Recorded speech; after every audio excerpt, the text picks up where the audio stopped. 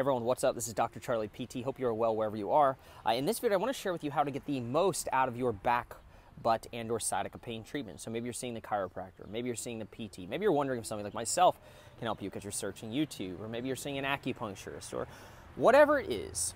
In this video, I want to share with you again how to get the most out of that treatment. All right.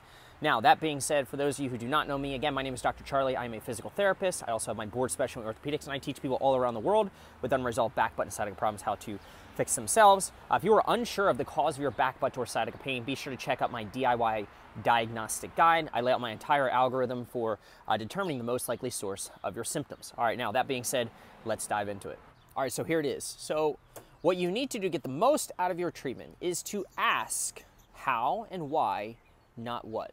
You change the quality of your questions, you change the quality of your answers, or in this case, you'll change the quality of your results. So here's what I mean. So the number one question I get from people all around the world, people like yourself, people in pain, um, is what do I do to get rid of my back pain? What do I do to get rid of my piriformis syndrome? What do I do to get rid of my nerve pain? Charlie, what do I do? And even within that, what exercise do I do? Right? This is what everyone wants to know. And so that's an okay question, but there's an issue with it. What to do is the end result of a lot of thought, a decision making process. It's essentially the receipt or the spit out of whoever you're seeing for your back, butt, or sciatica problem of their logic, right? So when people come to me, I ask them, hey, has anybody taught you what to do about your pain? And they say, yeah, like they taught me different exercises. But the issue is, is that yes, they taught you different exercises, they taught you what to do, but did they teach you why to do them? Why they chose to do that exercise over that exercise? Why they chose to not do that exercise or not perform that treatment or not do that technique that they just did with the person next to you?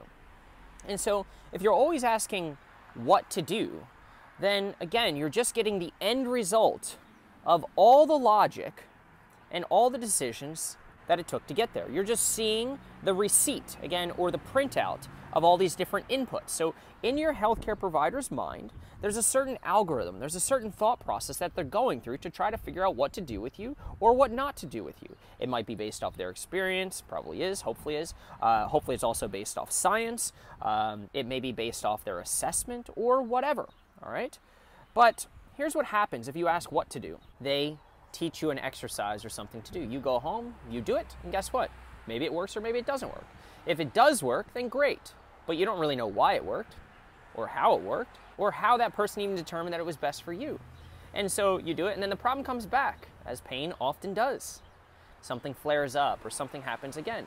Maybe a week down the road, a month down the road, six months down the road, a year down the road, whatever it is, it comes back. And you don't know what to do because all you were told is what to do, not why you were doing it in the first place, not how whoever you were seeing was able to come to that conclusion about why it was best for you.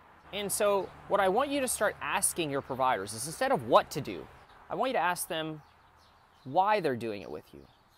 So, ask your provider, why did you choose to do this exercise? Or why did you choose to do this hands on technique over that one? Why not that stretch? Why not that strengthening exercise? And again, they'll give you, hopefully, their decision making logic around how they arrived at that conclusion. They'll probably maybe state some evidence or some science, hopefully, or they will state maybe their experience or what they found. And this question, instead of what should I do to resolve my pain, but why should I do it, and how did you arrive at that conclusion? Because that's where the real value is. Again, if you just ask what to do and it doesn't work, well, then you're kind of screwed.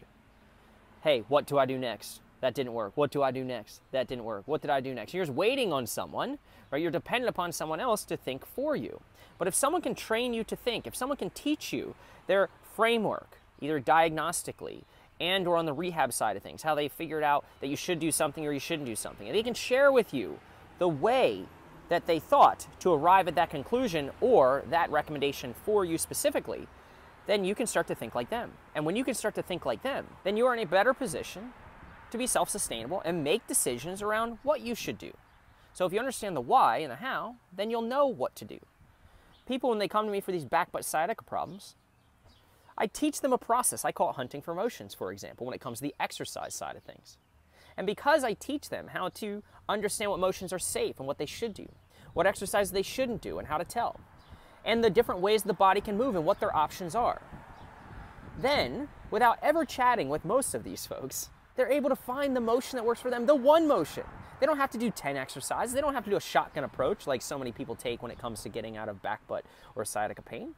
They're able to identify the one or two things that work best for them. And when that doesn't work, they can just go back into the process because they know exactly how I got there.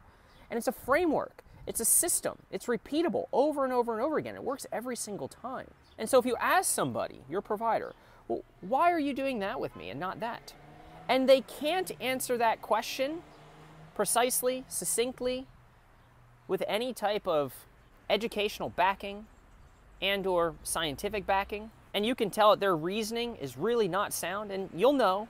You'll know when they're kind of just like well this is just what we do for people with back pain. Or well like this helps just get you moving better.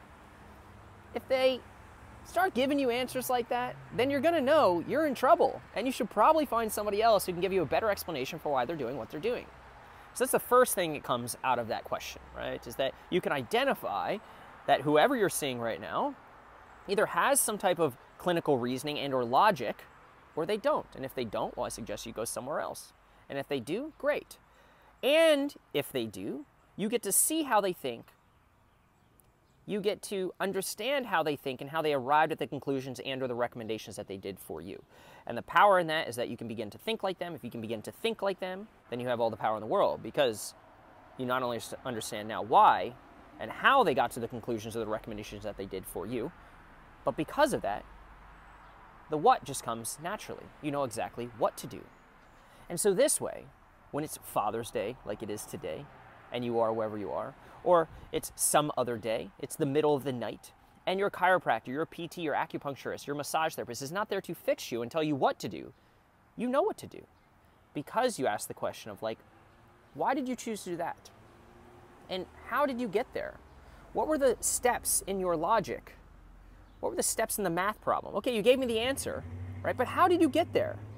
You did this, and you did this, and you did this, right? And have them spell it out for you. Have them pull up a whiteboard have them explain to you exactly how they got to the rec- recommendation that they did for you, why they're doing the treatment that they are for you, and why they aren't doing other treatments. And again, that is the value, and that is how you squeeze all the juice out of the current treatment. And or really what you're paying for is not what to do, even though it's what you think you're paying for. I think what you should be paying for is the expertise and the understanding that can come from working with someone who specializes in this area. And so this is why I'm passionate about teaching people all around the world how to solve their problems. I used to fix people. I used to crack people's necks and backs and massage things and do all this stuff and teach people sheets of exercises. And then I found like, yeah, that's great, but that's the what? I'm great at fixing people in the moment, but guess what? People like you in pain are terrible fixing themselves and it's not your fault. But it wasn't until I broke down my logic and I sat down for years and decoded my entire thought process to get to the point where, like, yeah, that one exercise, like, very quickly I spit that thing out. But how did I know to do that for that person? And that's the value. And so be sure to ask these questions. You're not being defiant, you're not challenging their knowledge, expertise, and or understanding. In fact, most people who really care about helping people are more than happy to educate people on what they need to do to be self sustainable. So, hopefully, this was useful. Again, ask why and how, not what, to whoever you're seeing for your back, butt, or sciatica problem. All right. And again, if you're interested in potentially working together, you can check the links below. Be sure to uh, leave a comment below and let me know your thoughts. Was this helpful or was it not? Thanks so much, everyone. Chat soon.